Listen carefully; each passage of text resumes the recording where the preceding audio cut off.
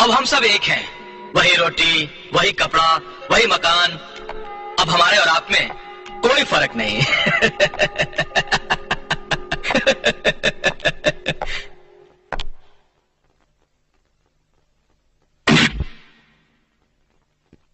यह है ना?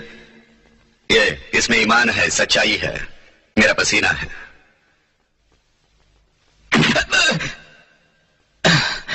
और ये खून है ना? ये ये तुम्हारा नहीं। उन गरीबों का चूसा हुआ है, निर्दोषों का चूसा हुआ खून नहीं है अपने मतलब के लिए उनका खून चूसते हो, और उनके मतलब के लिए मैं तुम्हारा खून पीता हूँ। यह फ़र्क है मुझमें और तुझ में।